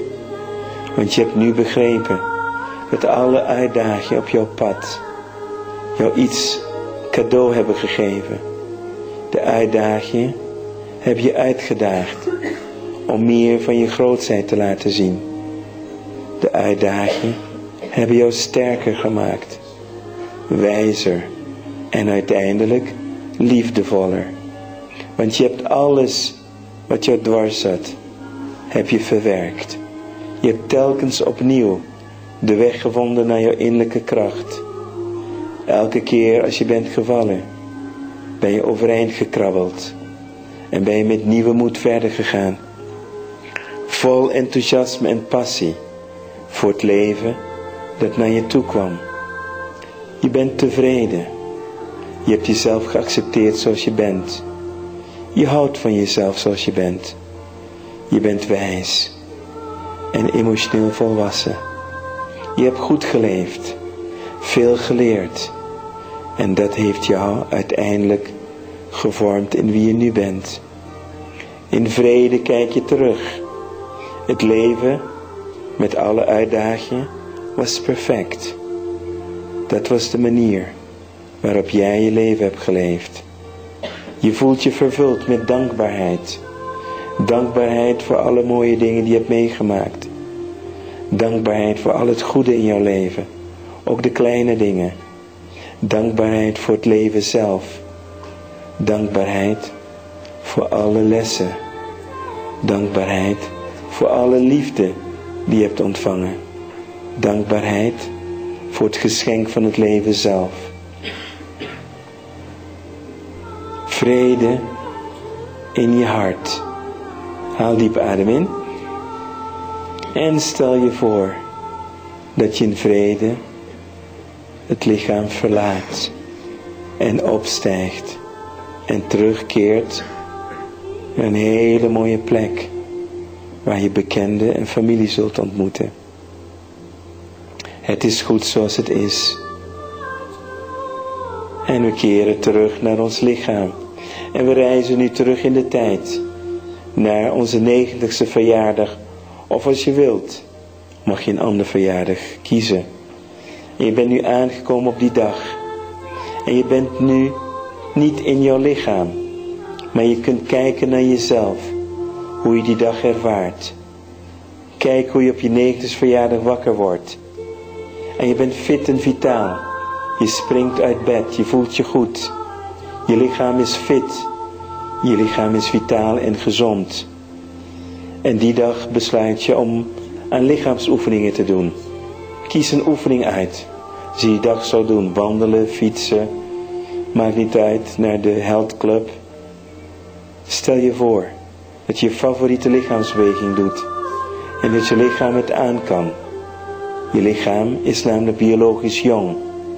Veel jonger dan je chronologische leeftijd. En je hebt besloten dat je op die dag je naar een speciale centrum gaat. Waar ze je lichaam volledig na kunnen kijken. Je gaat er naartoe. En je komt daar aan. Je wordt daar goed ontvangen. En iemand brengt jou naar zo'n scanapparaat. Daar stap je in. En na een paar minuten is de scan klaar. De technicus komt naar je toe en zegt tegen je, volgens mij klopt er iets niet. Want het apparaat zegt dat jouw biologische leeftijd 50 is. Volgens mij kan dat niet, je bent toch 90 geworden vandaag. Laten we deze test opnieuw doen. En opnieuw ga je in een ander apparaat. En na een paar minuten stap je opnieuw uit. Hetzelfde resultaat. En de technicus vraagt verbaasd aan je. Hoe doe je dat? Je ziet er heel goed uit. Maar het apparaat bevestigt dat je biologisch veel jonger bent dan je chronologische leeftijd. Je vertelt hem over hoe je leeft en wat je precies doet om vitaal en jong te blijven. En vervolgens naar huis en uiteindelijk zie je zelf die dag met je vrienden, familie en anderen feest vieren. En een taart met 90 kaarsen, of het aantal kaarsen, dat representeert de verjaardag die je viert. Je haalt diep adem in en in één keer blaas je alle 90 kaarsen uit. Doe je in één keer. En dan staat er een wolk. En de brandalarm gaat even af. En je wordt even nat, maar je lacht erom. Want je bent blij dat je nog zo fit bent. En zie jezelf die dag doorbrengen. En omdat het die negende verjaardag is, feest je en tot diep in de nacht ben je dansen, praten met mensen. En zo vier jij je negentigste verjaardag. Fit en vitaal. En vanaf nu hoef je alleen maar dit te herinneren. Je negentigste verjaardag. Wanneer je daaraan denkt, voel je je blij en positief. Het is een dag om naar uit te kijken. Het vervult je met positieve energie. Vanaf nu associeer je ouder worden met blijheid. Met vitaler worden. Met fitter worden. Met enthousiasme. Met passie. Met wijsheid. Met liefde. En vooral met vrede in je hart. Dat is jouw toekomst. En stel je voor dat dit nu volledig geprogrammeerd is in jouw hersenen. Dat vanaf nu dit een hologram is, een blauwdruk. Dat nu geprogrammeerd is in jouw lichaam. Tot op DNA-niveau toe. Waardoor jouw lichaam nu zich richt op het nieuwe programma. En het enige wat je hoeft te doen is van tijd tot tijd te versterken. En telkens wanneer je de getal 9 ziet of 90, denk jij aan je negenste verjaardag. En dan glimlach je. Want het is een dag waar je naar uitkijkt. Wanneer het komt, ben je vitaal en fit. Zo dadelijk tel ik van 1 tot en met 5. En bij 5 zijn we volledig in het nu. En is jouw lichaam volledig geprogrammeerd om de toekomst te creëren van vitaliteit en fitheid. 1. Word weer bewust van je lichaam. 2. Word bewust van waar je bent. En weet nu dat in jou iets is veranderd. Dat in jou nu een nieuw programma bestaat. 3. Word helemaal bewust van waar je bent. Hoe je zit. 4. Haal diep adem in. Laat helemaal los. En 5. Ogen open. Helemaal terug in het nu. Strek je helemaal uit. Zwaai even naar boven. Tik dan aan. En zeg ja tegen het leven. Zeg ja. Nou, alvast uh, gefeliciteerd. Dankjewel. Dankjewel. En alvast gefeliciteerd met je negende verjaardag. Als je aan denkt, nodig uit. Ja. Kom ik langs, kom ik feest vieren. En kijk, natuurlijk uh, zullen er nog honderden vragen zijn. En wat ik je in ieder geval aanraad, tot slot, is om elke nacht voordat je gaat slapen, om heel kort een aantal dingen te visualiseren. 1. Overdag heb je veel dingen meegemaakt die hebben gestrest. Visualiseer die momenten nu zoals je had willen ervaren als je volledig in je kracht was. Dus stel nu voor dat iemand iets tegen je zei en het ergerde je, je irriteerde je. Ga terug naar het moment en stel je nu voor als ik volledig in mijn kracht zou zijn. Helemaal verbonden met mijn hart. Hoe zou ik anders reageren? Wat zou ik hebben gezegd? Door dat te doen creëren we nieuwe synapsen. Maar dan zeg je honderd keer, ik doe het volgende keer anders. Heb je dat ooit meegemaakt? Dat iets niet ging zoals je wil zeggen. Volgende keer doe ik het anders. Wat denk de volgende keer gebeurt? Precies hetzelfde. Omdat die synapsen, die hebben we niet veranderd. Maar door elke keer een paar minuten te nemen, even opnieuw te visualiseren. Hoe je het had willen hebben, waar je, je had willen zijn, creëer je nieuwe synapsen. En binnen een paar weken begint het al te veranderen. Dat is het eerste wat je visualiseert. Tweede, de verjaardag in de toekomst. Altijd even kort herinneren, één minuutje. Even weer een glimlach op je gezicht, je negende verjaardag. Het is belangrijk om positieve energie te associëren met de toekomst. De toekomst moet uitnodigend zijn. En de meeste mensen hebben associaties met ouder worden van niet prettig. Is dat duidelijk? Dus dat verander je. En het derde wat je visualiseert is dat je volgende ochtend fris, vitaal en iets jonger opstaat. Dat is het geheim. Als je die drie dingen dus doet, dan weet ik heel zeker dat je heel snel anders gaat ervaren. En dat het makkelijker wordt om die dingen te veranderen in je leven dat je echt wil veranderen. Oké, dus uh, ik wil jullie bedanken dat jullie hier uh, met groot getal hier naartoe zijn gekomen. En ik hoop dat ik je heb mogen inspireren om toch een paar dingen in je leven anders te gaan doen. Als maar één of twee dingen. Niet alle tien dingen onmiddellijk gaan beginnen. Dat gaat nooit goed. Begin met één of twee. Denk veranderen bijvoorbeeld meer water drinken. Eh, en en bijvoorbeeld met die visualisatie. En daarbij wil ik ook zeggen van... Heb je hulp nodig wat manieren dan? Ga een keer naar onze website toe. Hebben een gratis nieuwsbrief. Tips. Uh, ik ga binnenkort met iets nieuws beginnen. Dan heb ik een tip van de week. En dan wil ik elke week een tip sturen. En hoeven niet dingen te zijn die ik doe. Het kan niet zijn dat gerelateerd is bijvoorbeeld aan uh, wat ik laatst sprak laatst iemand. Die gaat iets doen met groen, die heeft iets met groene energie. Als je dat in jouw ketel, de CV-ketel doet, bespaar je 50% energie uit. Dat zijn dingen die we moeten weten. En dat, soort tips wil ik gaan geven, hoe we zeg maar vitaal en fit kunnen worden. En, enzovoort, hoe we beter met stress kunnen omgaan. Als je daarin bent geïnteresseerd, kan je rustig naar mijn website komen. Mijn website is makkelijk te vinden, roymartine.nl. En als je me googelt, zul je ook mensen vinden die me niet aardig vinden. Trek je daar niet te veel van aan. Jullie weten nu dat ik aardig ben. dus dat is goed. Wel thuis en tot de volgende keer. Dankjewel. Merci. Merci, dankjewel.